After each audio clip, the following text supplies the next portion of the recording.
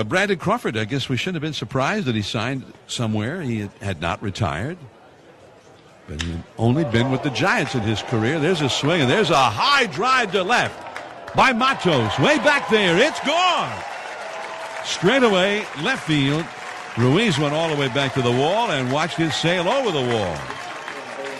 Three run homer for Luis Matos. And the Giants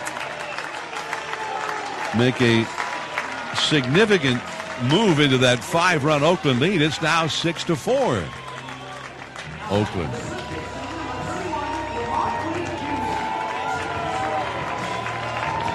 I think that's what the Giants would, like to see from Matos. Show a little bit more power.